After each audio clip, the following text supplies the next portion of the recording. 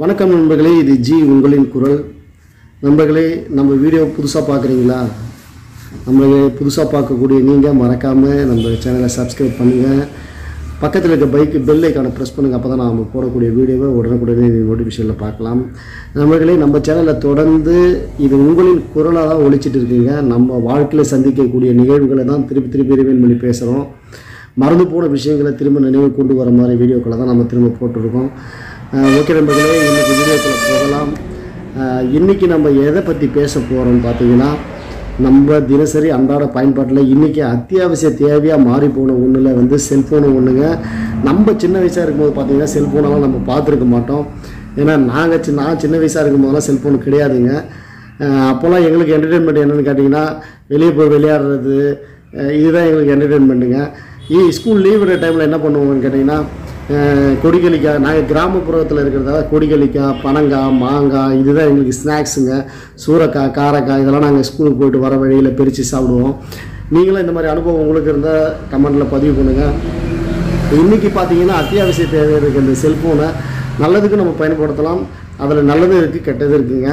But அது தெரியாமல் என்ன பண்ணுறாங்க வீட்டில் இருக்கிற பேரண்ட்ஸ் குழந்தை அழுகுதுன்னு சொல்லிட்டு செல்ஃபோனை கொடுத்து பழக்கம் பண்ணிடுறாங்க. என்ன பண்ணுது குழந்தைன்னு பார்த்தீங்கன்னா அந்த செல்ஃபோனை கொடுத்தா தான் சாப்பிடுது. செல்ஃபோன் கொடுத்தா தான் அழுவை அடங்குது. இது அப்படியே அவங்க ப்ராக்டிஸ் பண்ணி விட்டுறாங்க பட் அது அது தப்புன்னு பேரண்ட்ஸுக்கு தெரியுது. பட் ஆனால் அவங்க கொடுத்து பழக்கம் பண்ணதால் என்ன ஆகிடுது அதுவே பழகி போயிடுதுங்க. நண்பர்களை பார்க்கக்கூடிய நண்பர்கள் தயவு செய்து குழந்தைங்களுக்கெல்லாம் செல்ஃபோன் கொடுக்காதீங்க. அவங்க அவங்களுக்கு இந்த வயசில் அது தேவையில்லாதது. அவங்களுக்கு அது தெரியணும். இது என்ன? இதில் நம்ம என்ன எப்படி யூஸ் பண்ணணுன்றது அவங்க தெரிய வரும்போது அவங்க அது அவங்களுக்கு பெரிய பெரிய பசங்கள் ஆகும்போது அவங்களுக்கு வாங்கி கொடுங்க. சின்ன வயசுலேயே செல்ஃபோனை கொடுத்து அவங்களையும் கெட்ட பழக்க வழக்கங்களுக்கு ஆளாக்கிடாதீங்க.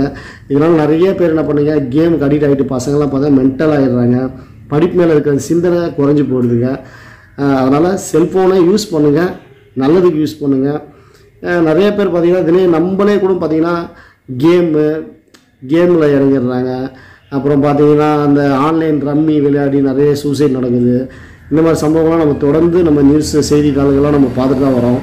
நண்பர்களே நமக்கு நம்ம சுற்றி இருக்க விஞ்ஞானம் வளர்ச்சி அடைஞ்சு போயிட்டு தாங்க இருக்குது பட் அதில் எவ்வளோ நல்லது இருக்கோ அந்த அளவுக்கு கெடுதல் இருக்குங்க. நம்ம நல்லதை எடுத்துக்குவோம் கெடுதலை விட்டுடுவோம்.